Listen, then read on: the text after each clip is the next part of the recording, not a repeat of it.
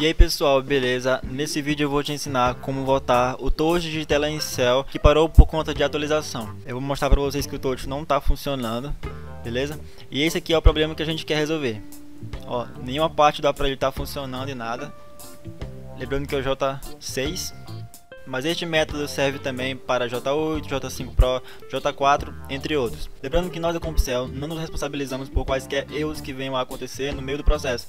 Faça por sua total conta e risco. E antes de mais nada, peço que você deixe o seu like logo no início, porque esse tipo de vídeo e de edição dá muito trabalho. Chega de enrolação e bora pro vídeo. Primeiro, como colocar o seu celular em modo download. Com o aparelho desligado, você vai pressionar o botão de volume mais e de volume menos. O aparelho vai ligar nesta tela e você vai precisar desta descrição, inclusive dessa parte que diz JU7. O número 7 significa o binário. Cada aparelho pode ter um binário diferente, pode ser o 6, pode ser o 5, e você tem que pesquisar a ROM para você poder passar o software novamente com o mesmo binário que já está instalado no seu aparelho. Visto isso, você vai pesquisar no Google ROM e o nome da, do aparelho, que no caso meu aqui é o J600 GT. Também existem algumas variações como GR, existe também o J600M, mas aqui no meu caso é o GT. Se o seu for outro diferente, pesquise com a descrição exatamente igual. E também com o mesmo binário que tem no seu aparelho. No meu caso aqui é o binário 7. O site que eu vou clicar é um da Stock Room, mas por acaso você encontrar em algum outro site que tenha a descrição exatamente igual ao seu, pode até ser no Sun Mobile ou em algum outro site que é por assinatura, onde disponibiliza ROMs originais. Depois de você clicar no link de download, você vai ser redirecionado para essa página e você tem que ter cuidado com alguns anúncios. Clique não sou um robô, caso peça algumas perguntas de figurinha você responda. No meu caso não pediu, só cliquei em prosseguir vai esperar os segundos e clicar em obter link. Você vai clicar e o link para download dessa ROM eu vou deixar na descrição. Selecione uma pasta e crie uma nova para você estar tá organizando os arquivos que você vai baixar. Não são muitos, mas não misture com outros para não dar problema. Eu não vou criar novamente porque eu já criei uma pasta e já salvei os arquivos. E eu também vou precisar de um cabo USB Bom, um cabo USB de dados de alta qualidade, beleza? E aqui galera, quando eu terminar de baixar, aqui na pasta eu vou extrair o Odin E o link do Odin eu também vou deixar aqui na descrição, beleza? Depois eu vou extrair a ROM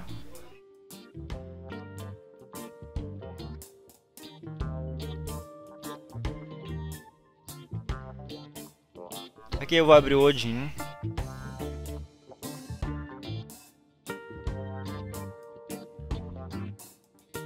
Bom, e agora eu vou ter que colocar o celular em modo download. E para colocar em modo download eu utilizo esse programa, que é o Samsung 300K Tool. É um DIG, galera, só que ele é um módulo de software para computador. Quando você coloca o seu cabo e ativa o programa, o aparelho já entra automaticamente, mesmo ligado, em modo download.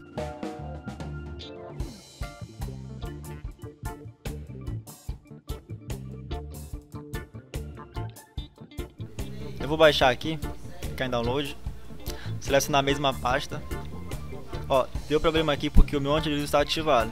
O seu computador, ainda mais Windows 10, vai reconhecer como um vírus, mas não se preocupe porque não é vírus, é apenas porque o, o programa não tem uma assinatura e também está linkado com sites que se você clicar nos anúncios pode ter vírus. Mas fique tranquilo que esse arquivo não tem vírus. Eu vou desativar aqui o antivírus rapidinho para poder baixar o programa. É só vir aqui gerenciar configurações, a proteção em tempo real eu vou desativar e tudo mais todas as opções aqui embaixo eu vou desativar. Aí eu vou ter que baixar novamente, eu vou clicar aqui. Depois que baixar, galera, você vai de novo em Downloads, pelo Ctrl J, e clicar em Manter Arquivo Perigoso. Agora tá aqui, eu vou extrair. É um arquivo bem pequeno. Agora eu vou abrir ele e conectar o cabo. Então, com seu celular, mesmo ligado, conecte o cabo USB. Beleza? Vai aparecer aqui o conector com DIG e vou clicar no conector com DIG. É só clicar e esperar.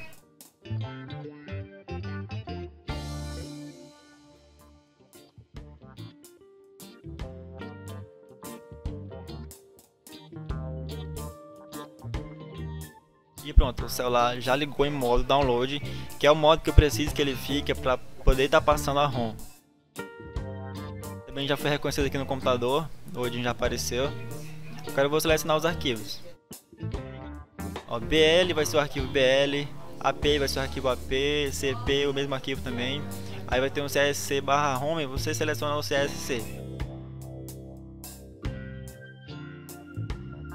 Beleza? O home fica sobrando mesmo, não se preocupe. Agora você vai dar um start e esperar, galera. E se você tiver feito tudo certo, inclusive o binário tiver tudo ok, o processo vai dar 100% certo, não vai ter erros. Se por acaso deu algum erro, ainda mais na parte de system, quando aparecer aqui em cima no Odin, é porque o binário que você baixou ou é abaixo ou é superior. No caso eu acho que pode ser superior, não pode ser só abaixo da versão que você instalou, beleza?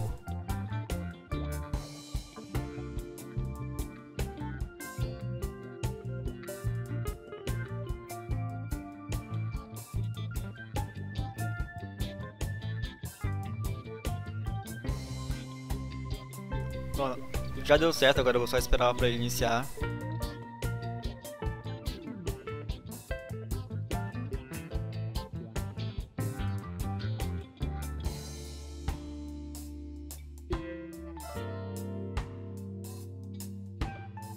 Iniciou aqui, eu vou clicar, olha só.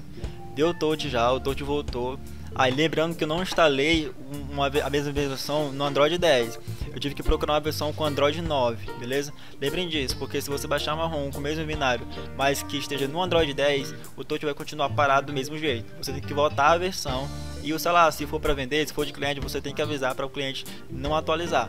Também tem uma opção para você desabilitar as atualizações automáticas, que fica justamente na parte de atualização de software, lá nas configurações do aparelho, é bem fácil de encontrar. Testando aqui o teclado, que está funcionando, tudo bacaninha